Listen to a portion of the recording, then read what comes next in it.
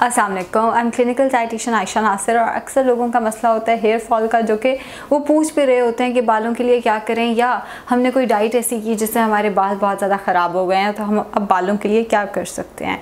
सो so, जो supplement आज मैं आपको बताने वाली हूँ वो है हेयर फैक्टर यू फेस की वेबसाइट से आप इसको ऑर्डर कर सकते हैं. बेसिकली ये बायोटिन है. बायोटिन हम जानते हैं कि बालों के लिए बहुत अच्छा है लेकिन ये लोकल नहीं है.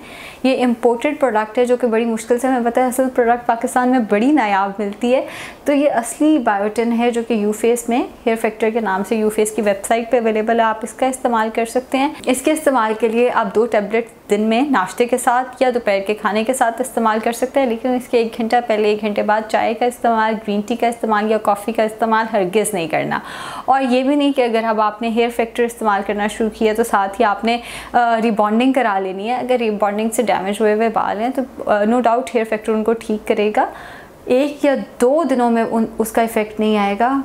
वन मंथ टू मंथ का अगर आप कोर्स करते हैं तो आपको विजिबल डिफरेंस जो है वो अपने बालों में नज़र आएगा, जैसे मुझे अपने बालों में नज़र आ रहा है। मेरे भी शायद आप लोगों को, आप लोग पिछली वीडियोस देखें तो आप लोगों को शायद नज़र आए कि पहले मेरे बाल जो थे वो इतने ज़्यादा, देखें, बालों का ताल्लुक डाइट से है, इस बात में कोई शक नहीं है, लेकिन और भी बहुत सारी चीज़ें हैं, जैसे डेंड्रफ हुई हो सकती है, कोई डर्माटोलॉजिकल रीज़न हो सकती है।